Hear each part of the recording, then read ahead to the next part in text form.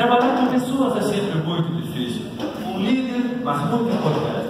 Ele era um líder comunitário, o seu Miguel Gardini, já falecido. E o seu Miguel dizia: Eu me envolvo com a igreja, a escola, eu lidero. E eu perguntei, mas isso é uma tarefa fácil? Não, é pior que tocar 30 vacas pela estrada fora, sem cerca com milho novo na barranca. Mas por que, que o senhor toca? Porque mesmo que elas se incomodem, no final tem bom leite.